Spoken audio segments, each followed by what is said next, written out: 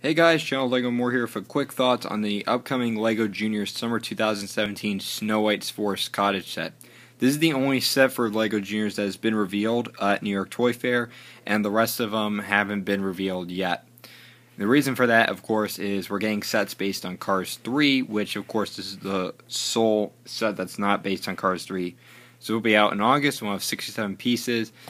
And thanks again for Brickset for the pictures, as this was not, as the Toy Ark did not take any pictures of the set. The Snow White Maid doll looks awesome, and I really like the look of it.